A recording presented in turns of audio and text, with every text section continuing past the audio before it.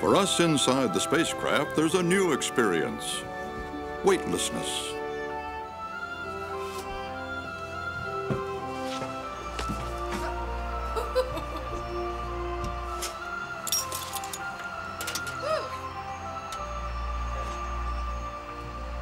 A typical crew consists of five to seven people. Some are career astronauts, others are specialists in a variety of fields, representing various countries.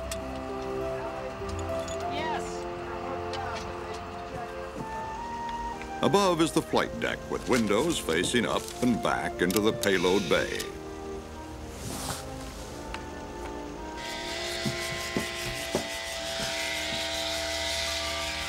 Below, the middeck functions as living room, dining room, bedroom, workshop, and study. Discovery Houston, you're looking good for deploy. Commander Hartsfield and pilot Coats navigate the orbiter to a predetermined point in space so that the communication satellite they are deploying will be precisely positioned. That's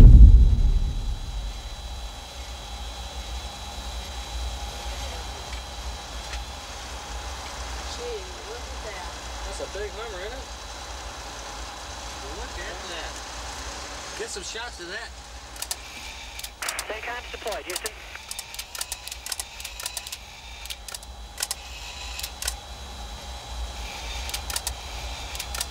Much of the time, the orbiter flies with its payload bay facing the Earth. So, to see our planet's features, the crew uses the overhead windows.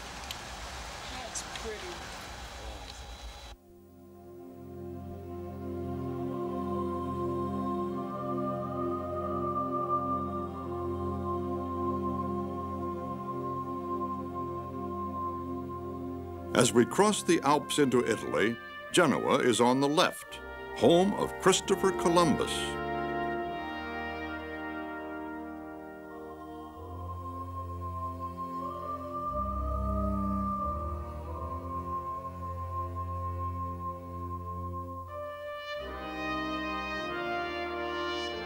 Eastward, the Po River flows down to the Adriatic. And just north of its mouth, glorious Venice. This is the Italy of the Renaissance. It was here that Leonardo first said, We can fly. And now we circle the Earth every 90 minutes at 17,000 miles an hour. It's as if we're in a time machine, looking back across the centuries at our own history. The Boot of Italy.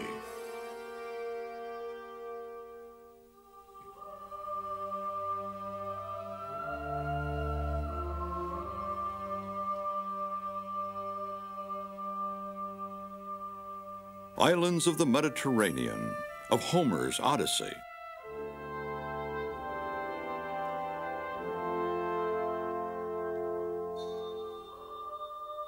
Now on toward Crete, site of the ancient Minoan culture.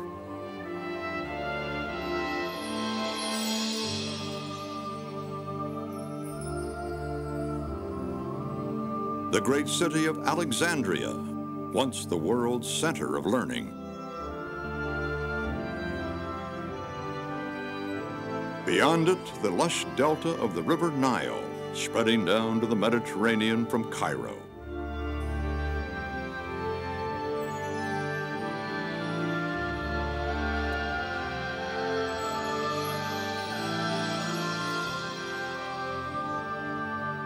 It is thought that thousands of years ago, everything below us now was fertile, but a change in climate turned North Africa into a desert. What will future climatic changes do to our Earth and to us? Okay, we're still looking for a deployment plan though for that uh, mile Okay, how's that? In search of the answer, like Sally it. Ride deploys a satellite called ERBS. That's a pretty spacecraft. Challenger Houston, you're go for release. Okay, we'll put it in work. ERBS will help us to know whether there will be more sandstorms in our future, or blizzards, or hurricanes, like Josephine, 500 miles in diameter and packing winds of 90 miles an hour. enormous area.